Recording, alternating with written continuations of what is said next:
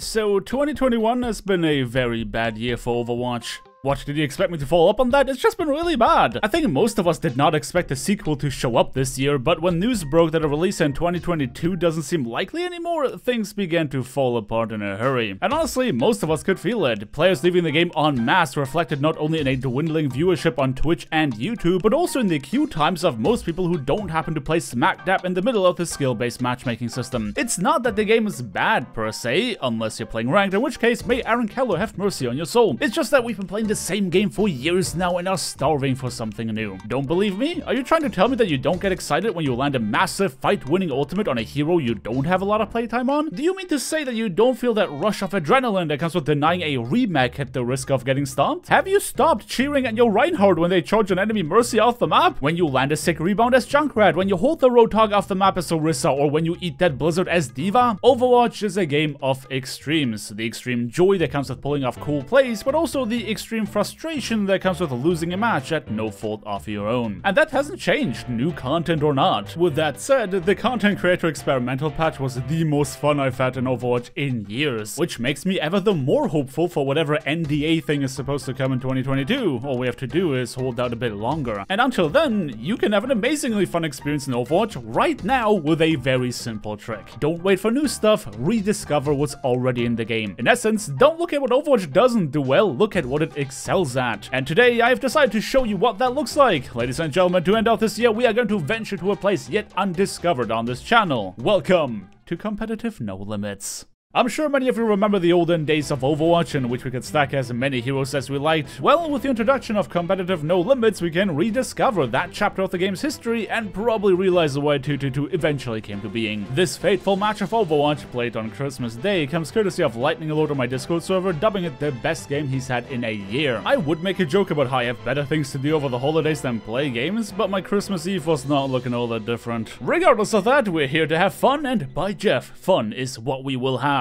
Our squad of six Lucios rolled out of spawn, ready to take their fight to the red team, and naturally they had the speed to get there first and foil the enemy's attempt of getting to the capture point. But our friends will learn in a hurry that it takes more to win a fight than just being fast. Their opposition had no intention of falling for their cheap tricks, and even in the midst of an army of frogs, they found ways to get eliminations. Lucio might be one of the best stalling characters in the game, but the double Roadhog composition sides with their enemies was also very good at stopping that very thing. The first cap went to the red team, revealing obvious weaknesses in our hero's approach to this match. The plan was unconventional, and as such, more unconventional strategies would have to be used in order to make it work. Part of that plan was to never fully reset the fight. The blue team believed in being able to control the chaos and putting constant pressure on the capture point while costing them some manpower also allowed them to find openings to exploit. The two Roadhogs, however, seemed fairly unimpressed by any of that. Their feet remained anchored to the ground as they continued to hook, line, and sink our hero's hope of winning this round. Lightning Lord successfully baited two defenders to the edge to confirm at least some eliminations his team, but as it stands, that only feels like a drop in the bucket.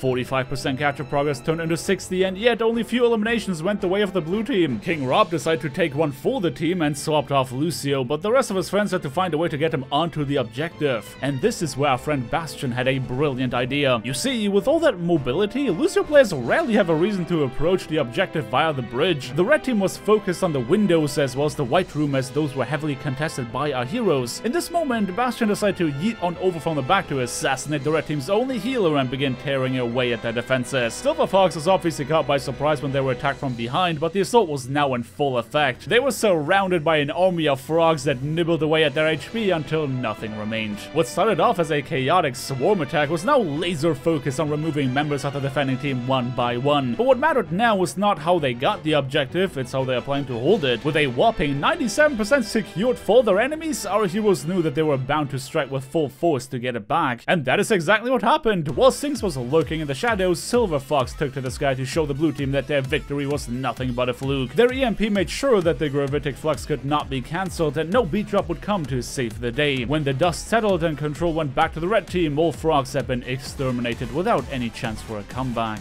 is what I would say if Matthew didn't heroically throw himself on the objective with a solo beat drop to keep their dreams alive. Lightning Lord rolled out a spawn like he never rolled out before, and while his beat drop came too too late to save Matthew, the capture point remained contested. The red team was obviously annoyed as they were craving for an end to the stalling. Every elimination now would cause an increased spawn timer for the attackers, but that seemed to matter little in the face of a speed boost and sheer tenacity. Silver Fox would not fall for the bridge play twice and made it that job to hold their opposition back, and as much as I can understand their train of thought, they must have forgotten that while Sigma can hover, he definitely cannot fly. The red team had sacrificed sustain in favor of more crowd control, seeing that as the only way to stop the frogs from endlessly contesting the objective, but that also meant that some members of the team had no means of recovering HP, meaning it was only a matter of time until they fell. And since Silver Fox was no longer protecting the bridge, King Rob could safely and swiftly rejoin the battle in order to turn the tides. Establishing the Roadhog differential, while optional, must have felt very good in that situation. It was obvious that the red team reeked of desperation. They needed ultimates to end this fight, but those ultimates would not find the desired effect when used haphazardly. Without a big ultimate combo to lead that charge, our heroes had no trouble picking their opponents off in the most satisfying way possible. Despite their abundance of crowd control abilities, half their team would find themselves at the bottom of the tower as the blue team began catching up to their capture percentage. Silver Fox was very frustrated about that, to get staggered off cooldown while sitting at 99% all because of environmental kills and stalling tactics? They've had enough. A gravitic flux was a solution once and was supposed to be the solution again, except they got slightly ahead of the Sombra the second time around. Sinks was not ready to follow up on that ultimate and didn't even have the charge to do it if they wanted. A beat drop saved our heroes from the impact of Sigma's ult, a fact that even a delayed EMP could not change. As overtime hit, the red team found themselves unable to replicate what our heroes had achieved, trying desperately to stay in the game, but that to no avail. Lightning Lord and his friends managed to keep themselves in this match and even further turn it around to come out victorious, but in the process they had awoken something truly terrifying. Our six friends, who were merely trying to have fun, had swung at the hornet's nest and now was too late to apologize for it. As they rolled out of spawn in the second round, they had no idea what they were about to face.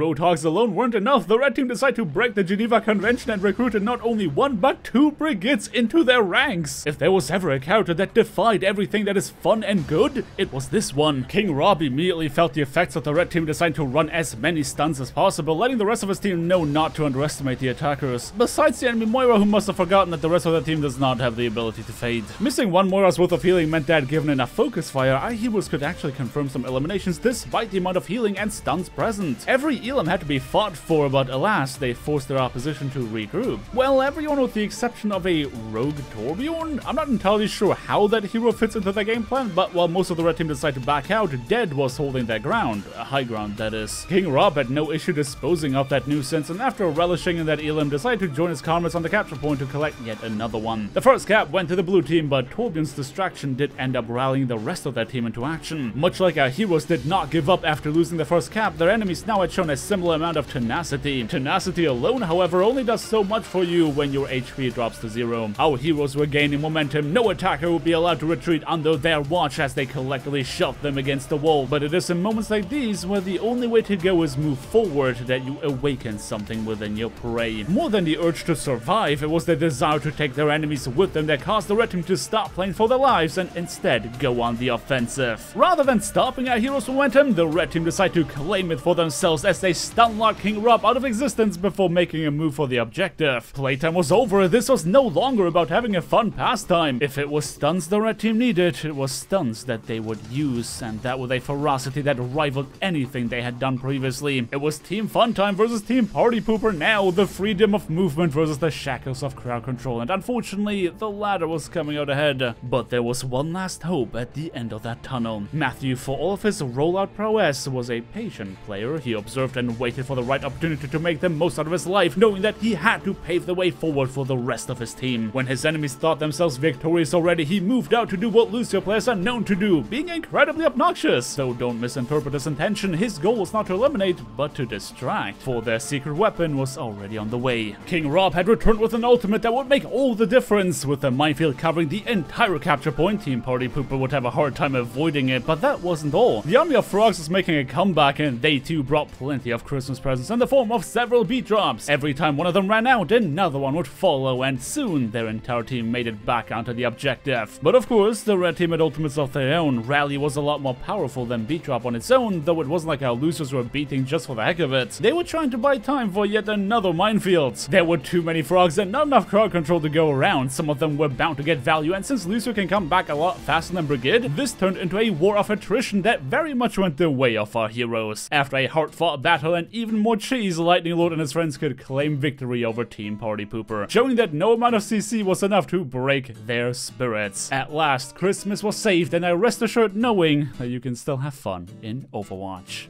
Narrating a game of No Limits certainly felt a bit strange, especially because it wasn't my own gameplay, but hey, I figured it was a fitting send-off to what was undeniably a bit of a strange year. Anyway, I hope you guys enjoyed this episode, and if you did, do let me know by dropping me a like on your way out, consider subscribing if you want to see more, and if you enjoy yourself some Lucio gameplay, why not check out my episode in which I was attempting to beat drop on people's heads? You know, back in the experimental card where that actually dealt damage. You can find the card on screen right now. Here's hoping to a better 2022, and until next time, peace.